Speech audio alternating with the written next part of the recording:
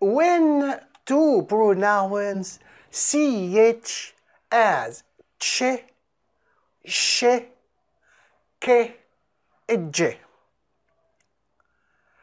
ch is called a consonant digraph. Two letters next to each other giving one sound, like sh, th, ph, and many other consonant digraphs.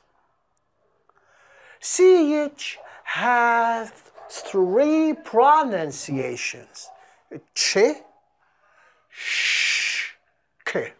The different pronunciation of ch depends on the, the origin of the word.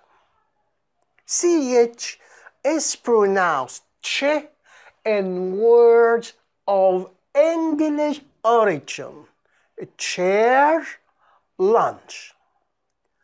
ch is pronounced sh in words of French origin. Chef, machine, chic.